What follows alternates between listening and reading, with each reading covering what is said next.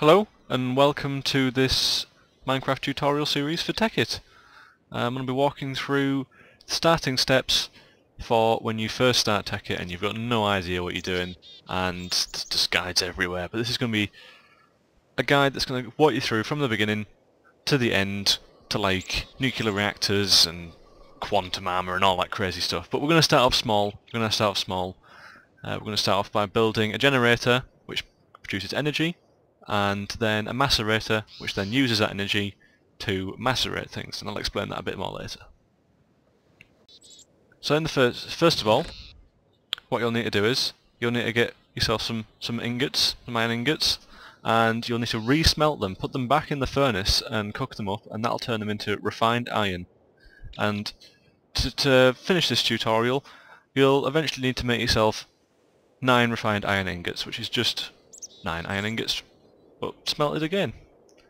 Um, the next step that we'll need to do is we'll need to make some machine blocks. Now these are pretty simple. Just in a furnace or a chest shape, you just put your refined iron in that shape and you'll end up with machine blocks. Now machine blocks are like the, well, the building blocks for all the machines that you have. And they're, they're key. You'll be making loads of these, so don't worry too much if you can't remember the recipe straight away, because sooner or later you'll just be like, bang bang bang, learning this recipe. Uh, after you've got this, you'll need to make yourself a tree tap. Now a tree tap is this little this little thing here, and basically what you do with it is you find a rubber tree. Now you can tell it's a rubber tree because it's got these extra few blocks of leaves on the top, and slightly darker in colour. And if you've got a uh, texture pack uh, that just changes the default Minecraft skins, it will look different to your other trees. Now once you've found one of these trees, what you want to do is you want to find these little yellow blobs on the side. what you do is you, you right click it with your tree tap and it spits out some sticky resin.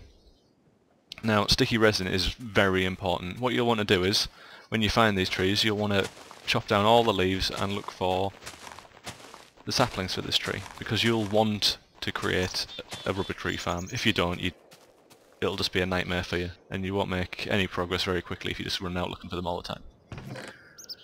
So, now you've got your tree tap, by building it like this, you uh, you can you smelt the resin into rubber in a furnace, and you'll need roughly 12, depending on how efficient you are with your cables. Uh, 12 will make you 6 copper cables, which I'm coming on to next. So, You'll want to make some insulated copper cables, which are these little cables here. This requires, uh, for one for one batch of six, it will require six rubber and three copper bars. So copper bars are just melted melted copper. And if you didn't have the rubber here, it would just create uninsulated copper wires, and they have a chance to electrocute you, which you don't want because it does it deals damage. So you don't want that. And basically the wires are just there to transport your electricity about. That's that's all they're there for. And you want to insulate them so you don't get, well, murdered by your own equipment. Next thing to do is to build yourself a battery. Now you're probably thinking, oh, why do I need a battery? Well, the generator itself requires a battery, uh, just so it can hold some charge, other than just like burning. Like a furnace would burn through the coal, and that would be it. But a generator will burn through coal and store it until it's needed and then pass it on. So now that we've got this, uh, a battery is just 4 tin, which is smelted tin ore, a couple of redstone and one of your copper cables. So now you're thinking, oh god, we've done all that, we haven't even made anything, we haven't even put anything on the floor yet. So here's, here's the fun part. Now that you've got all these items, you can you can build yourself a generator. So it's just a battery on top of a main machine block on top of a furnace and you'll get your generator. So I'm going to take this with me because I'll be showing you how to use it in a bit. Oh, need to be back in there.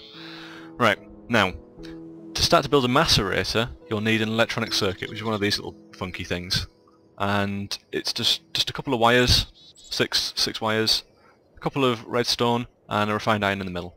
Once you've got that, you can build a macerator. You're thinking, yeah, we've got all these things, but we can make it better. We can make it better. So the macerator, you'll need three flint. A good way to do get flint is to find some gravel, put it on the floor, smash it. If it doesn't turn into flint, pick it, put it back down, smash it again, and then repeat until you've got three. And then you need a couple of cobblestone, some machine, uh, well, one machine block, and this circuit you've just made. So now that you've got your, your generator and your macerator, you're in the money, in the money. But what we can do is we can make it efficient, so you don't even have to look at it. You, you can just like leave it there, and it'll just do whatever you want it to do. So here, um, you can make some pipes. It's just really simple. A block of glass and some block of wood, and you'll make a wooden pipe. Or some cobblestone and a block of glass, and you'll make a cobblestone pipe. The difference between cobblestone and wooden is a wooden pipe is you can attach it to a treasure uh, treasure chest. What am I talking about? A chest, and it will, if you apply a redstone engine to it, which I'm going to go on to in a second, it will drag things out of the chest along the pipe. And a cobblestone pipe is basically just a simple transport pipe. There's nothing fancy. It doesn't. It doesn't do anything other than allow things to travel through it. Right. So to make a redstone engine, we'll need some wooden gears and a piston. Now if you didn't know, this is the piston. Piston uh, schematic. Wooden gears, really simple. A couple of sticks in a circle like this, or as close to a circle as you can get in Minecraft. And you get your gears. And then we eventually get our redstone engine, which is some wood, a bit of glass, your gears either side of a piston, and boom. Right, so now that you've got all this, we're going to go over to the temporary workstation over here. And I'm going to show you how to put them together. So first of all, you'll want to put your generator down, and then say a couple of blocks away, uh, about that distance, you'll want to put your macerator. Now, what you can do is while you're building, you can start off your generator generating some energy. And if you just, I'll just, I'll just dump it all in there. If you just excuse me a second, you'll find with Tekkit that the the volume is a bit messed up. So what you've got to do is you just got to twiddle with the, the sound bar up here and that'll, that'll readjust your sound like that, see? Nice and quiet. So now, we don't want this power to go on the waste, so what you do is you connect it up with your wires. You just basically click like any other block and it will connect them and they'll come out this way, etc. Um, and once you've got your wires hooked up, you can look inside your macerator. Now a macerator basically turns one block of ore into two blocks of dust. Now, one block of ore would be smelted into one bar, but one dust would be smelted into one bar as well. So basically,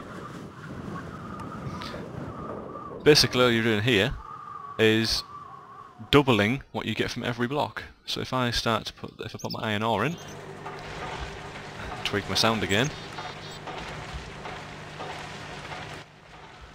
Uh, you'll see it starts to progress like any other thing. You get your little progress bar, like you would with smelting or any other th things like that.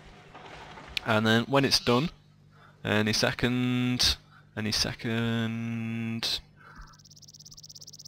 any second, boom! You've got some. You've got two iron dust. Now iron dust, like I just explained, will turn into two bars. Well, not not two bars each, but the two that you get per ore will turn into two bars. Now you see this red arrow?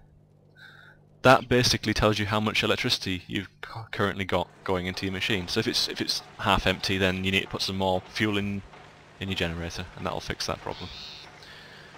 Let's make it daytime. Right. So you'll be wondering, well, you know, I've got all this now, and I don't, I don't want to really be like coming back to it. I can imagine that filling up quite quickly. So what you what you do is you would get your pipes like this and you'd pop a chest down like so and then you'd put a red, your redstone engine. Now the redstone engine will automatically face the nearest thing to it. So it's not like pistons where you've got to like angle yourself right up against a wall or whatever. It'll just point towards the nearest thing. Once you've got this you get yourself a lever.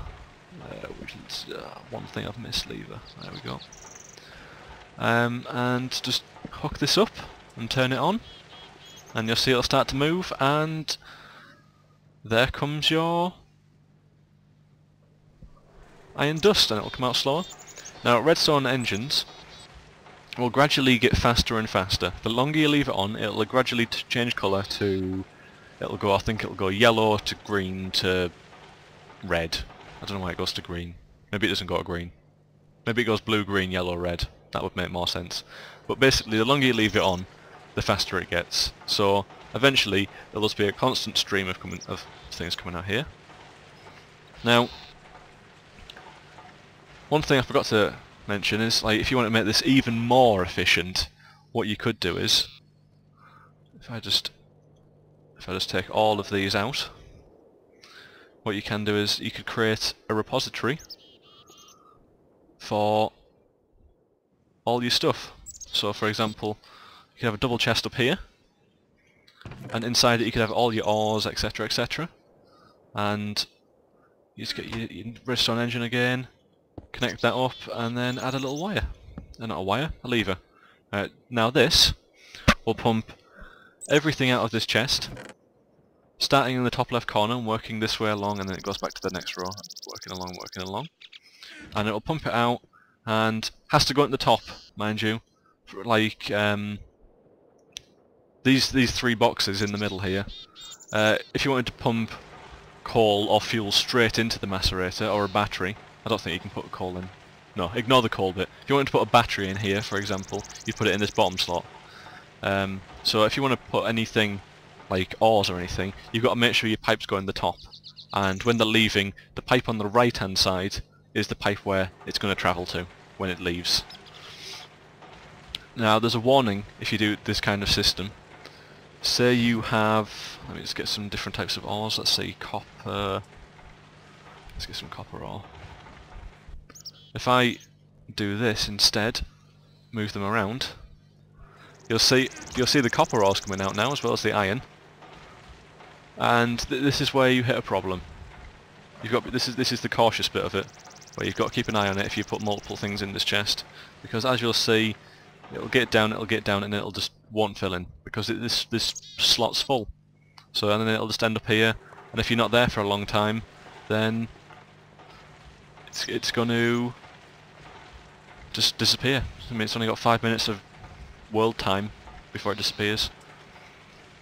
But other than that, you've got a macerator, and I mean, look look at all this iron dust. All this iron dust. I mean, 20 iron dust. That's loads. That's 20 iron bars right there. So you can just process us up, and then you can do it all over again, and you'll be you'll be loaded, loaded in no time.